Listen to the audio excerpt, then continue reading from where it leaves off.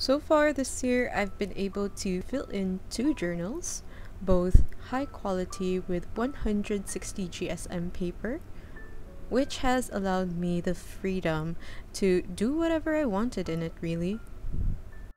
From painting with watercolors, doing gouache, pop-up art, collaging, sketching, playing with stickers and washi tapes, and so much more. It was fun and exciting to explore different mediums and my journaling style, but I think I'm ready for something a little bit different. I'm sure you guys are familiar with this. This is the Muji notebook A5 size that I have mentioned in previous videos. It has cream colored paper, which you know I love, and uses a line grid instead of a dot grid design.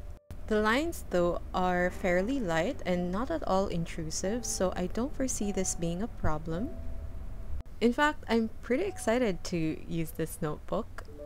I've been finding myself getting a little bogged down with all the options that I could do with the Hiraya and Alon journal. More concerned about how my bullet journal looked and getting crafty rather than focusing on the practice of mindfulness and self-awareness of the bullet journal method. For the next few months, I am looking forward to sticking to just pen and ink, simplifying my spreads, and making my system work for me again. Here I am showing you guys some of the stickers that I will be using to decorate the cover of this notebook and some washi tapes that I had on hand. The dark gray color of this notebook really gave me a dark academia vibe, so I did this collage based on that aesthetic. Let me know down in the comments if I did it justice. The first page of a journal usually is a lot of pressure because you want to make it look nice. My peg for this was originally something very elegant, very simple, to go with that dark academia vibe that I was talking about.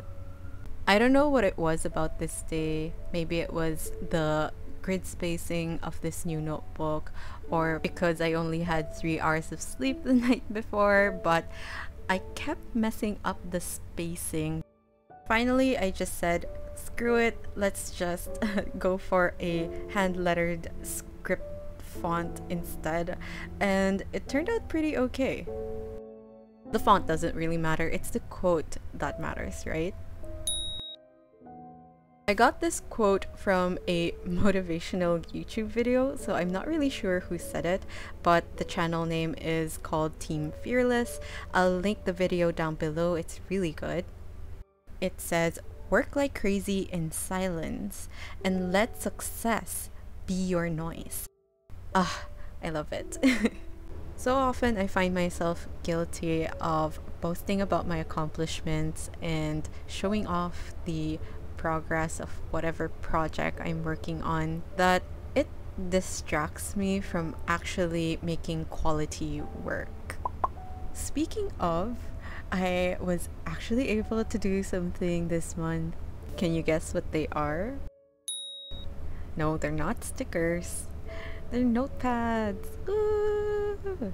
If you follow me on Instagram, these notepads are probably not a surprise to you. I made the mistake of publishing the reel too early. That was just half done, but people seem to like it and I can probably just make a part 2 for it, so no big deal.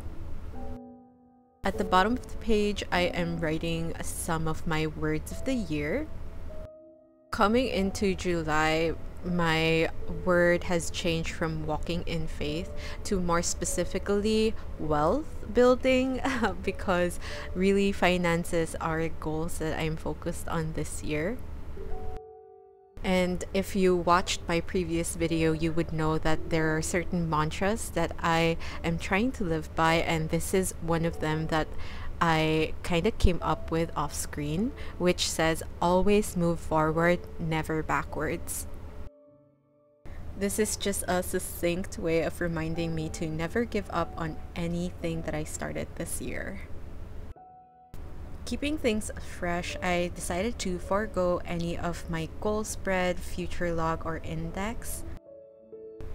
Instead, I wanted to celebrate this with revising my current me, future me spread something that I have been teasing you guys with for months now. So if you guys want to do this exercise with me, make sure to subscribe and hit the notification bell so you don't miss the next video. Then flipping over, we have the July overview. For the spread, I chose to use my basic monthly set, which you can get for free on my Gumroad linked below. Then pulled out some of the washi stickers that I made for my olive green bundle to decorate the top portion of this spread. I know that a lot of bullet journalers prefer the calendar layout for their monthly overview, but I would highly encourage you guys, especially if you're just beginning to use the vertical calendar layout you a lot more space to journal and write a summary of your day compared to the calendar layout which encourages more of planning out just your events and tasks. On the right hand page, I am putting in my self-care habits which put me in a good mood every time I do them. Some of these are taking my daily walks, doing skincare, flossing my teeth, and sleeping early. My aim is not necessarily to do all these habits every day. I feel like putting that pressure on ourselves is not exactly healthy.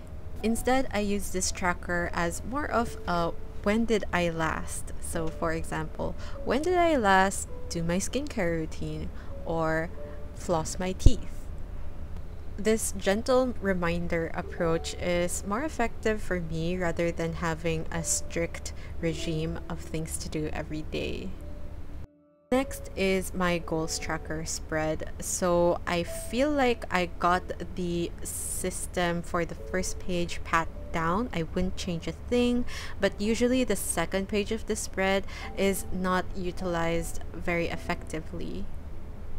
So for July, I thought perhaps what I could do is have kind of an agenda for the day page on the right hand of the spread.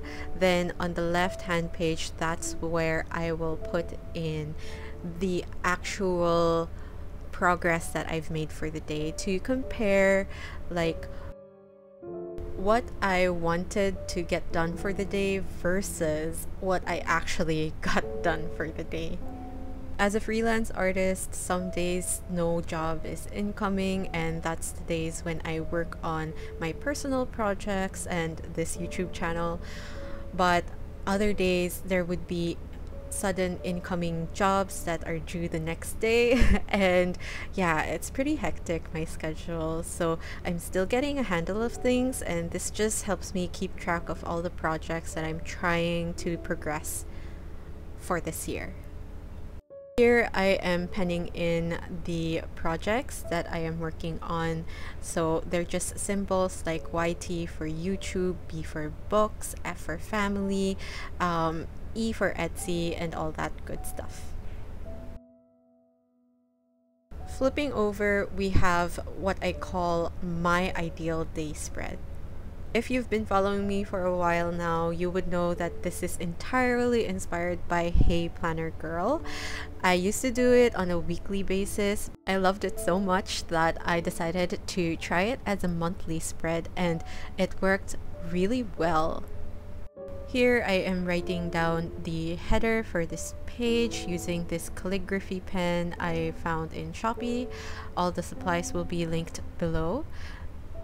Then I write down the vertical calendar and the hours of the day at the top.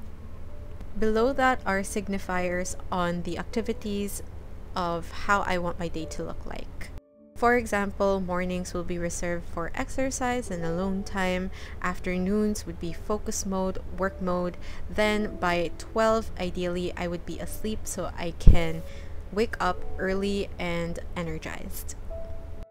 Then on the left hand page is the section where I ask this question Was I able to stick to my routine? Why or why not? This simple reflective journaling prompt really helps me identify the reasons why I am unable to stick to the schedule I've set out for myself. Sometimes it's that I have bad habits like drinking too much coffee. But sometimes it's just unreasonable expectations from myself. Or having a flaw in my system like needing a more flexible schedule. So yeah, remember that this is just a process. So next time if you're you find that you're being too hard on yourself, make sure that you're looking at every angle because sometimes the flaw isn't really in you, but rather it's in the system or really just the circumstances. oh, I forgot about this spread. Um, so this is the final final spread of our monthly. Um, and this was inspired by this book i read called the slight edge which advises you to write down three things that you're grateful for every day. I tried the spread once before back in february and i said that it didn't work out but i was willing to try again. So here i am I split the page into two columns, which leaves me limited space to write down items that I'm grateful for. I think one of the reasons why this gratitude log didn't work for me in the past was because I felt a certain type of pressure to write long and flowery um, words to summarize things I'm grateful for as someone who's very direct and straightforward, um, getting in touch with your feelings is kind of a struggle for me. So hopefully having this layout that encourages more bullet pointed way of writing would be helpful to take off that pressure.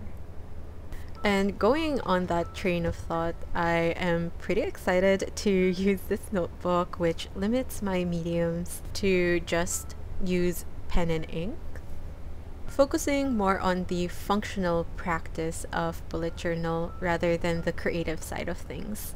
Again, if you want to do the current me, future me exercise, make sure to subscribe and hit the notification bell. Like this video because it really does help support the channel. As always, thank you guys so much for watching and I'll see you in the next one. Bye!